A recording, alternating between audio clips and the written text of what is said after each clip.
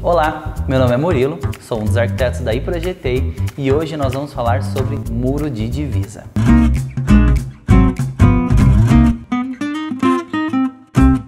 O muro de divisa tem a função de delimitar a área do lote, além de trazer segurança para sua casa. Eu vou elencar aqui agora algumas formas de como você pode executar esse muro. A primeira delas é você mesmo marcar com os custos da construção do seu muro. Porém, é extremamente importante que você entenda que o seu muro de divisa deve estar nos limites do seu terreno para dentro, tá? Você nunca pode no limite do seu terreno construir o muro de divisa para fora, até porque você vai estar invadindo o terreno do seu vizinho. E aí podem arcar em alguns outros custos para você que não são interessantes. Segunda opção, você nunca brigou com seu vizinho porque ele deixou o som alto, ou então ele é seu parceiraço de churrasco. Através de um contrato formal, ratear o custo desse um único muro para fazer a divisa das duas casas, tá? Mas é extremamente importante que vocês tenham uma boa relação mesmo e conversem para que você não arque com os custos totais ou que só ele arque com os custos totais. Rateei o custo do muro com meu vizinho, porém ele não me ajudou a pagar. Aí nesse caso você pagou o muro sozinho, né? Então, se você fez o muro dentro do seu terreno, não tem problema algum. Agora, se você rateou com ele metade no seu terreno e metade do muro no terreno dele, então é importante que vocês conversem e cheguem às vias de fato. Senão, eu aconselho você a buscar um auxílio jurídico.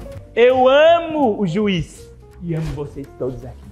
Não tenho vizinho, a minha quadra é nova e eu vou ser o primeiro a construir. Como que eu posso proceder para não invadir o lote de ninguém? Bom, nesse caso eu vou te aconselhar a buscar um topógrafo, conversar com esse profissional e pedir para que ele faça o mapa topográfico do seu terreno.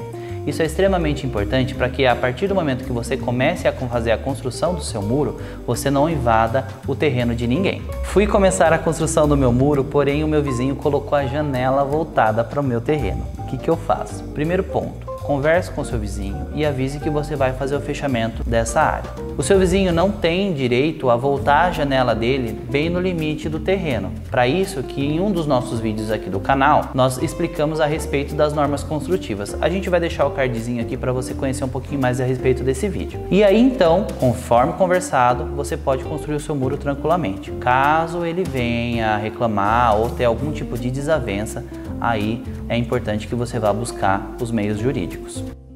Você vai ser processado, eu vou te processar. Vou acabar com a sua vida, você vai pra cadeia. No mínimo oito anos de prisão. Processa ele. Processa. Não, não é. Vai virar e processei. E processei.